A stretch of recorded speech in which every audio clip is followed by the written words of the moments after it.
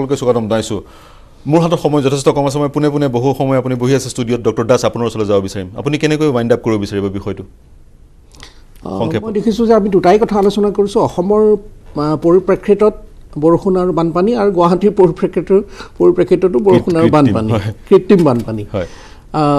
মই ক'ব খোজোঁ যে আমি যিটো আটাইতকৈ আমি মিছ কৰি আছোঁ আমি ইমান দিনে চিঞৰি আছোঁ কিন্তু এইটো হোৱা নাই।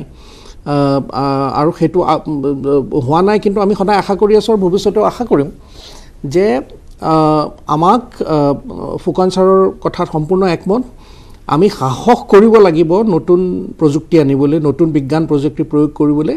তাৰ বাবে আমি সেই টেকন'লজিত যিখিনি ইনভেষ্টমেণ্ট লাগে আমি কৰিব লাগিব। আমি সত্তৰ বছৰ ধৰি ভুগি আছোঁ। একো যদি নকৰোঁ the cost of no' action will be even much more huge than দিছ আমি যদি একো নকৰোঁ এইটো আৰু বাঢ়িব ছাফাৰিংছ বাঢ়িব কষ্ট বাঢ়িব। গতিকে আমি সেইখিনি কৰিবই লাগিব গতিকে দিছ ইজ হাই টাইম আমি বহুদিন আগতেই কৰিব লাগিছিল। গতিকে আমি সেই এটা ব্ৰহ্মপুত্ৰ ফ্লাড কমিশ্যন আমি বা বা north east water resource commission whatever it is আমাৰ খুব ভাল international national and local expert লৈ পেলাই আমাক এটা টাস্ক ফ'ৰ্চ লাগিব।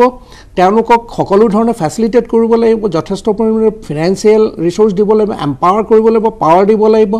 আৰু তেওঁলোকক দি আমি এটা লং টাৰ্ম শ্বৰ্ট টাৰ্ম দহৰ পৰা পোন্ধৰ বছৰ লং টাৰ্ম পঁচিছৰ পৰা পঁয়ত্ৰিছ বছৰ আৰু মিড টাৰ্ম আৰু লং টাৰ্ম পঞ্চাছ বছৰৰ পিছলৈকে এই তিনিটা চিনেৰিঅ লৈ আমি যাতে। সমস্ত এই গোটেই অসমৰ অকল ব্ৰহ্মপুত্ৰ নহয় ব্ৰহ্মপুত্ৰ বৰাক বৰাকৰ বানপানীৰ এই সমস্যাটো দিশে আগবাঢ়িব। লাগিব আৰু গুৱাহাটীৰ ক্ষেত্ৰতো একেটাই ক্ষমা কৰিব মোৰ হাতত সময় কম আছিলে মই অন্য সকলৰ ওচৰলৈ যাব নোৱাৰিলোঁ। তাৰ লগতে সকলো এটা কথাত একমত এই এই যি চিটুৱেশ্যন সেই চিটুৱেশ্যনৰ পৰা উদ্ধাৰ হ'বলৈ যিখিনি দাস ডাঙৰীয়া ক'লে সেইখিনি লাগিব তাৰ লগত আমাৰ আমাৰ লগত লাগিব তথ্য আমাৰ যি ট্ৰেডিশ্যনেল নলেজসমূহ আছে পৰম্পৰাগত জ্ঞানসমূহ আছে সেই জ্ঞানসমূহ আমি ছিষ্টেমেটাইজ কৰিব লাগিব সেইখিনিও আমি ব্যৱহাৰ কৰিব পাৰোঁ।